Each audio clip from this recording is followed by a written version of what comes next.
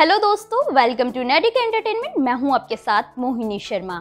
आज जिसे सदी का महानायक कहा जाता है, जो पाँच दशकों से भी ज़्यादा समय से बॉलीवुड में धूम मचाए है। लेकिन जब फ़िल्म की शुरुआत हुई तो लगा कि अब घर वापस जाना ही बेहतर होगा।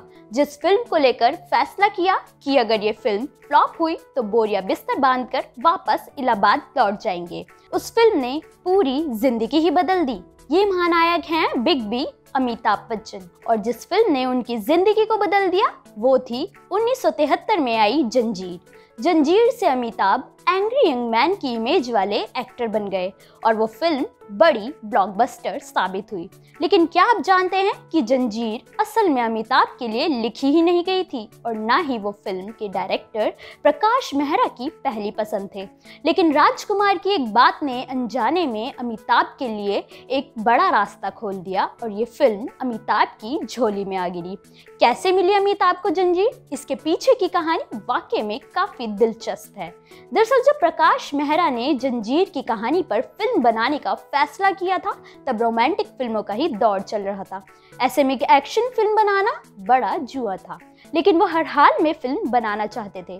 प्रकाश मेहरा सबसे पहले इस फ़िल्म की कहानी को लेकर शम्मी कपूर के पास पहुँचे, लेकिन शम्मी कपूर ने ये कहकर मना कर दिया कि इस फ़िल्म में हीरो का ना तो कोई गाना है ना हीरो रोमांस करता है और ना ही वो मुस्कुराता है।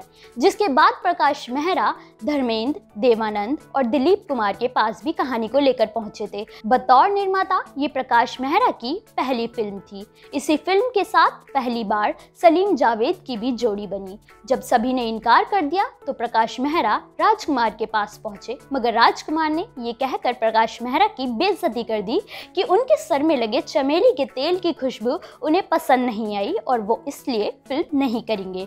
प्रकाश मेहरा वहाँ से लौट आए और ये सोचने लगे कि कौन उनकी फ़िल्म के लिए फिट बैठेगा। ऐसे में उनके लिए मसीहा बनकर आए फ़िल्म में शेर खान का रोल कर रहे प्राण साहब। प्राण साहब ने प्रकाश मेहरा को बताया कि उन्होंने महमूद साहब की फ़िल्म बॉम्बे टू गोवा में एक नए अभिनेता को देखा है। वो इस रोल के लिए फिट बैठेगा।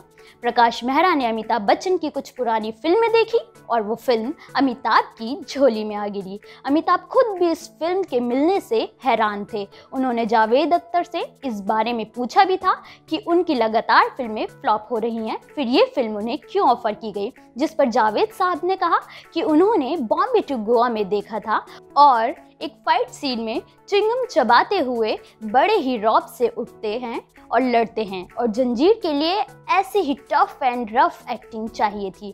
इसलिए फ़िल्म अमिताभ को मिली। अमिताभ आज भी ये नहीं समझ पाए कि आखिर उस चिंगम वाले सीन का उन्हें जंजीर मिलने से क्या रिश्ता है।